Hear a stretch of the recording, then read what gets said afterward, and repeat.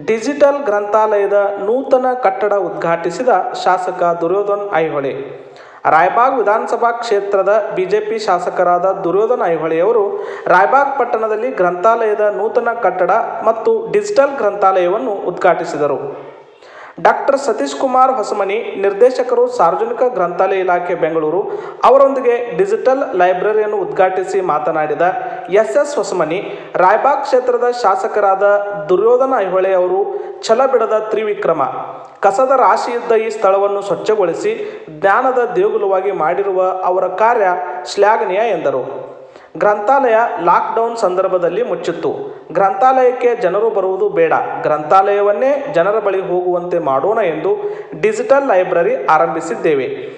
ಈವರೆಗೆ ಮೂವತ್ತ್ಮೂರು ಸಾವಿರದ ಮುನ್ನೂರ ನಾಲ್ಕು ಪುಸ್ತಕಗಳು ಸಾವಿರದ ನೂರ ಮೂವತ್ತೆಂಟು ಸದಸ್ಯರು, ಹದಿನಾಲ್ಕು ದಿನಪತ್ರಿಕೆಗಳು, ಎಂಟು ವಾರಪತ್ರಿಕೆಗಳು, ಹದಿನಾಲ್ಕು ಮಾಸಪತ್ರಿಕೆಗಳು, ಎಂಟು ಸಾವಿರ ಡಿಜಿಟಲ್ ಸದಸ್ಯರು, ಒಟ್ಟು ರಾಜ್ಯದಲ್ಲಿ ಎಂಬತ್ಮೂರು ಲಕ್ಷ ನಲವತ್ತೈದು ಸಾವಿರ ಡಿಜಿಟಲ್ ಲೈಬ್ರರಿ ಸದಸ್ಯರು ಈಗಾಗಲೇ ನೋಂದಣಿಯಾಗಿದ್ದಾರೆ ಎಂದು ಸಂತಸ ವ್ಯಕ್ತಪಡಿಸಿದರು.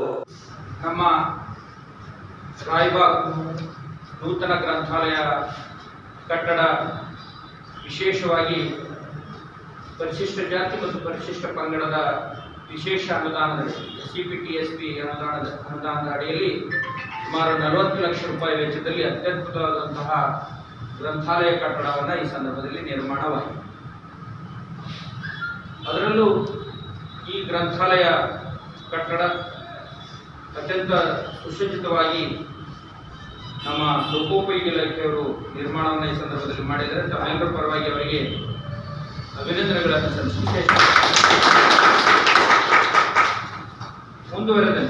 ಈಗಾಗಲೇ ಮಾನ್ಯ ಶಾಸಕರು ಹೇಳ್ತಾ ಇದ್ದಾರೆ ನಮ್ಮ ಇನ್ನೂ ಮೊದಲನೇ ಮಾಡಿಯನ್ನ ತಾವು ಕಟ್ಟಬೇಕು ಅಂತ ಹೇಳಿ ಅಂದಾಗ ನಾನು ಅವರಿಗೆ ಮಾನ್ಯ ಶಾಸಕರಲ್ಲಿ ವಿನಂತಿಯನ್ನು ಮಾಡಿಕೊಂಡೆ. ಏನು ನಮ್ಮ ಸಾರ್ವಜನಿಕ ಗ್ರಂಥಾಲಯ ಕಾಯ್ದೆ ಹತ್ತೊಂಬತ್ತು ನೂರ ಅರವತ್ತೈದು ನಿಯಮ ಮೂವತ್ತು ಮತ್ತು ಮೂವತ್ತೊಂದರ ಅನ್ವಯ ಆಸ್ತಿ ತೆರಿಗೆಯ ಮೇಲೆ ಶೇಕಡ ಆರರಷ್ಟು ಗ್ರಂಥಾಲಯ ಕರ ವಸೂಲಿಯಾಗ್ತದೆ ಆಯಾ ಸ್ಥಳೀಯ ಸಂಸ್ಥೆಗಳಿಂದ. ಇವತ್ತು ನಮ್ಮ ಪಟ್ಟಣ ಪಂಚಾಯತಿ ರಾಯಬಾಗ್ ಪಟ್ಟಣ ಪಂಚಾಯತಿಯಿಂದ ಸುಮಾರು ಕರ ಒಟ್ಟು ಬಾಕಿ ಇಪ್ಪತ್ತ್ಮೂರು ಲಕ್ಷ ಇಪ್ಪತ್ತೇಳು ಸಾವಿರ ಬಾಕಿ ಇದೆ. ಈ ನಿಟ್ಟಿನಲ್ಲಿ ಮಾನ್ಯ ಶಾಸಕರು ಸಂಬಂಧಪಟ್ಟಂಥ ಚೀಫ್ ಆಫೀಸರ್ ಅವರಿಗೆ ಮತ್ತೆ ನಮ್ಮ ಟಿ ಎಂ ಸಿಯ ಏನು ಪಟ್ಟಣ ಪಂಚಾಯತಿಯಲ್ಲಿರ್ತಕ್ಕಂಥ ಅಧ್ಯಕ್ಷರಿಗೆ ಸಾಹೇಬರು ನಿರ್ದೇಶನವನ್ನು ನೀಡಿದಲ್ಲಿ ಆ ಒಂದು ಇಪ್ಪತ್ತ್ಮೂರು ಲಕ್ಷ ರೂಪಾಯಿ ವೆಚ್ಚದಲ್ಲಿ ಒಂದು ಎರಡನೆಯ ಮಾಡಿಯ ಕಟ್ಟಡವನ್ನು ನಿರ್ಮಾಣ ಮಾಡಲಿಕ್ಕೆ ಅನುಕೂಲ ಆಗ್ತದೆ ಅಂತ ಹೇಳಿ ಸಂದರ್ಭದಲ್ಲಿ ನಾನು ಹೇಳಿದ್ದೆ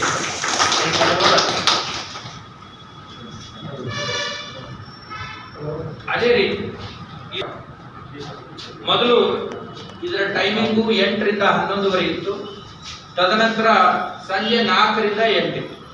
ಈಗ ಈ ಭಾಗದ ಓದುಗರಿಗೆ ಅನುಕೂಲವಾಗಲು I A S K S ಮತ್ತು ಇನ್ನಿತರ ಸ್ಪರ್ಧಾತ್ಮಕ ಪರೀಕ್ಷೆಗಳನ್ನು ಎದುರಿಸತಕ್ಕಂಥ ವಿದ್ಯಾರ್ಥಿಗಳಿಗೆ ಮತ್ತು ಎಲ್ಲ ಓದುಗರಿಗೆ ಅನುಕೂಲವಾಗುವ ನಿಟ್ಟಿನಲ್ಲಿ ಬೆಳಿಗ್ಗೆ ಎಂಟರಿಂದ ಸಂಜೆ ಎಂಟರವರೆಗೆ ಇದರ ಸೇವೆಯನ್ನು ನಾವು ನೀಡುತ್ತೇವೆ. ನಂತರ ಮಾತನಾಡಿದ ಶಾಸಕರಾದ ದುರ್ಯೋಧನ ಐಹೊಳೆ, ಗ್ರಾಮೀಣ ಮತ್ತು ಪಟ್ಟಣಗಳಲ್ಲಿ ಹೆಚ್ಚು ಗ್ರಂಥಾಲಯಗಳಿರುವುದು ಸಂತಸ ತಂದಿದೆ.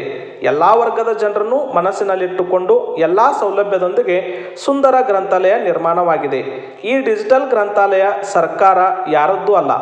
ಬದಲಾಗಿ ವಿದ್ಯಾರ್ಥಿಗಳು ಹಾಗೂ ನಾಗರಿಕರ ಗ್ರಂಥಾಲಯವಾಗಿದ್ದು, ಇಲ್ಲಿಂದ ಹೆಚ್ಚಿನ ಜ್ಞಾನ ಪಡೆದು ದೇಶಕ್ಕೆ ಕೀರ್ತಿ ತರುವ ಕೆಲಸ ಮಾಡಬೇಕೆಂದು ಶಾಸಕರು ಹೇಳಿದರು. ಪಕ್ಕದಲ್ಲಿ ಪುರಾತನ ಕಾಲದ ಮೂವತ್ತೊಂದನೇ ಶತಮಾನದೊಳಗೆ ಕೊಲ್ಲಾಪುರ ಶಾಹು ಮಹಾರಾಜರ ಒಂದು ಕಾಲದೊಳಗೆ, ಆಡಳಿತದೊಳಗೆ ಪ್ರಾರಂಭ ಆದಂಥ ಒಂದು ನಮ್ಮ ರಾಯಭಾಗದ ಗ್ರಂಥಾಲಯ.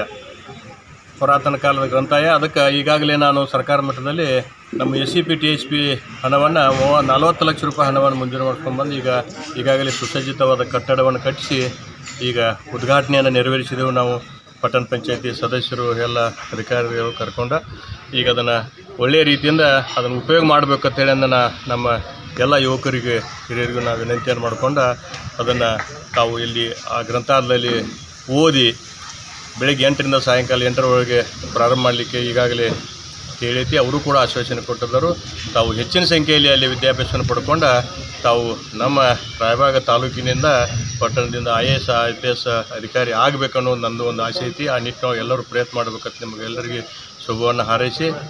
ಮತ್ತು ಈಗಾಗಲೇ ಒಬ್ಬರು ಸಾಗರ ಅನ್ನುವಂಥ ಯುವಕರು ರಾಜಾರಾಮ ಮಹಾರಾಜರ ಹೆಸರನ್ನು ನಾಮಕರಣ ಮಾಡಬೇಕಂತ ಪ್ರಸ್ತಾವನೆ ಸಲ್ಲಿಸಿದ್ದಾರೆ. ಅದನ್ನು ಸರ್ಕಾರ ಮಟ್ಟದಲ್ಲಿ ಪ್ರಯತ್ನ ಮಾಡಿ ಮಾಡಿಸುವಂಥ ಪ್ರಾಮಾಣಿಕ ಪ್ರಯತ್ನ ಮಾಡ್ತಾನೆ ಈ ಸಂದರ್ಭದಲ್ಲಿ ಹೇಳಲಿಕ್ಕೆ ಇಚ್ಛಾಪಟ್ಟು, ಈಗ ಅದರ ನಂತರ ನಮ್ಮ ಪಟ್ಟಣದ ಆದಿಶಕ್ತಿ ರೇಣುಕಾ ಯಲ್ಲಮ್ಮ ದೇವಸ್ಥಾನದ ಸಾಮಾಜಿಕ ಕಾರ್ಯಕರ್ತ ಸಾಗರ್ ಜಂಟೆನ್ನವರು ಮಾತನಾಡಿ, ರಾಯಬಾಗ್ ಡಿಜಿಟಲ್ ಗ್ರಂಥಾಲಯಕ್ಕೆ ಛತ್ರಪತಿ ರಾಜಾರಾಮ್ ಡಿಜಿಟಲ್ ಗ್ರಂಥಾಲಯ ಎಂದು ನಾಮಕರಣ ಮಾಡಬೇಕೆಂದು ಒತ್ತಾಯಿಸಿದರು. ಇದರ ಉಪಯೋಗವನ್ನು ರಾಯಬಾಗ್ ಕ್ಷೇತ್ರದ ಜನರು ಪಡೆದುಕೊಳ್ಳಬೇಕೆಂದು ತಿಳಿಸಿದರು.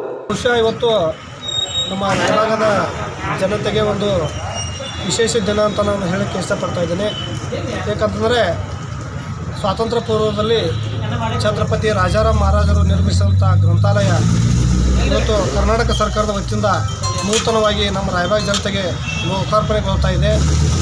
ಇದು ಕೇವಲ ಗ್ರಂಥಾಲಯ ಆಗದೆ. ಇವತ್ತು ಮತ್ತೊಂದು ಹೊಸ ವಿಶೇಷ ಅಂದರೆ ಡಿಜಿಟಲ್ ಗ್ರಂಥಾಲಯನೂ ಕೂಡ ಇವತ್ತು ಉದ್ಘಾಟನೆಯನ್ನು ಮಾಡ್ತಾ ಇದ್ದಾರೆ. ಹಾಗಾಗಿ ಇದು ನಮ್ಮ ರಾಯಭಾಗದ ಹೆಮ್ಮೆಯ ಸಂಸ್ಕೃತಿಯ ಪ್ರತೀಕ ಅಂತ ನಾವು ಹೇಳಿ ನಮ್ಮ ರಾಯಭಾಗ ಜನತೆ ಪರವಾಗಿ ನಾವು ಈ ಸಂದರ್ಭದಲ್ಲಿ ಸಂಭ್ರಮವನ್ನು ಆಚರಣೆ ಮಾಡ್ತೇವೆ ಈ ಸಂದರ್ಭದಲ್ಲಿ ಸತೀಶ್ ಕುಮಾರ್ ಹೊಸಮನಿ, ರಾಮಯ್ಯ, ಆರ್ ಕೆ ನಿಂಗನೂರೆ, ಸದಾನಂದ ಹಳಿಂಗಳೆ, ಸದಾಶಿವ್ ಕೋಪರ್ಡೆ ಅನಿಲ್ ಸಾನೆ ನಿಂಗಪ್ಪ ಪಕಾಂಡಿ ಸೇರಿದಂತೆ ಮುಂತಾದವರು ಉಪಸ್ಥಿತರಿದ್ದರು.